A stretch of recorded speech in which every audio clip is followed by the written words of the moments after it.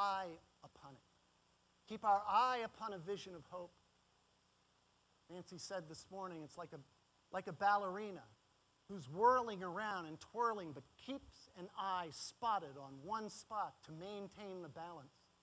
In the midst of the whirl and the struggle of the world, keeping an eye on a vision of hope, that's what John was seeking to do when he wrote this revelation. The beauty can indeed emerge.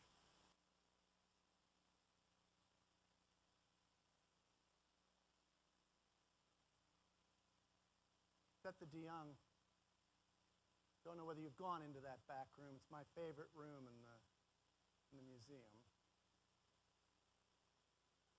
I'll tell you what that is. That's kind of a, it's a sculpture. It's built so that that's a, almost a cube, perfectly sort of four square. It is built from the charred remains of one of those burnt churches.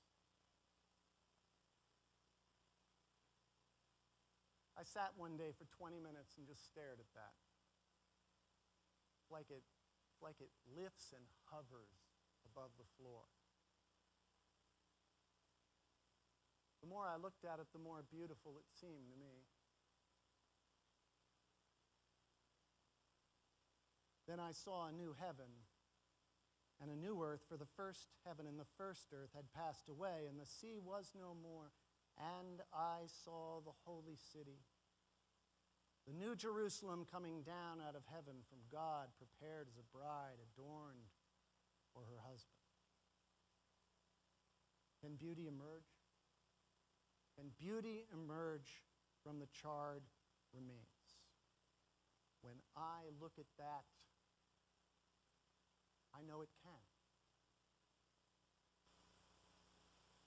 When I look at history, I know it can for the people that read the revelation of John first.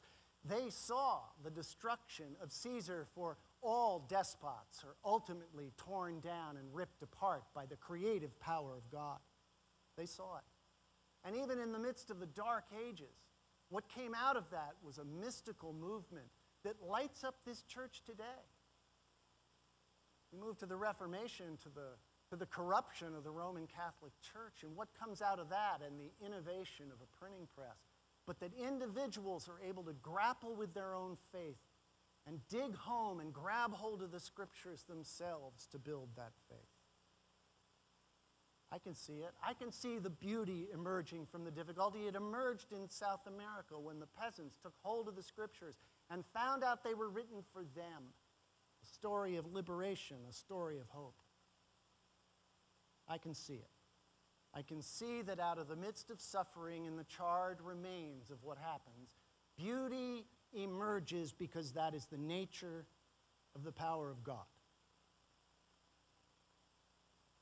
But more importantly, I see it in you.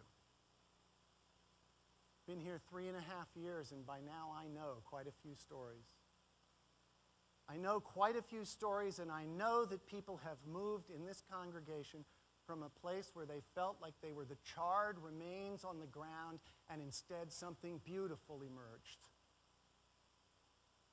It emerged. But I don't only see it in the individuals that are sitting here, I see it in the whole church. You're amazing. Tuesday night, we had a capital campaign consultant come and visit with us. He was, he was a nice guy. It was a lot of fun.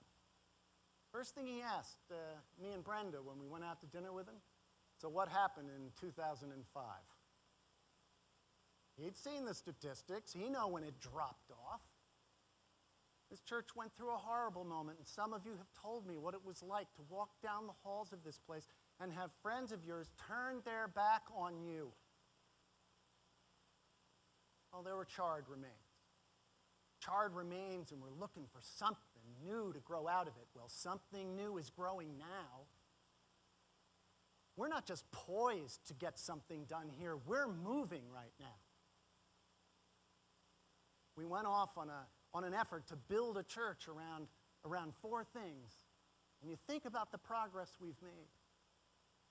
We talked about a spiritual path, but we've come to open that up and understand that running into a spiritual path, that walking that path has to do with living a creative life. that it's what we're called to, it's what the image of God within us longs to reach out with through us.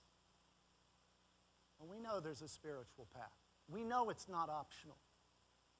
We walk it, some, some of us tiptoe, but each one of us recognizes that. Each one of us looks for the cognitive structure of our faith to make some sense. I mean, I see people struggling with that all the time. That's all the emails I get after my sermons. You know, what's going on? How do I understand that? We're seeking an intelligible faith, a structure within which we can live and grow so that we can offer it to a world who thinks that the old language, which I believe so firmly points towards something beautiful and true, but they think the old language cannot communicate the gospel in a way that we can if we find the new language to talk about old images. But we're there. And the mission heart? The mission heart in this congregation just keeps growing. I'm starting to feel sorry for Leslie Purdy, the chair of our mission committee, because people keep writing to her with a new idea. My wife did it just two nights ago. you know, but there's a sense in which we're trying to figure out well, how do we express the love that is formed within us?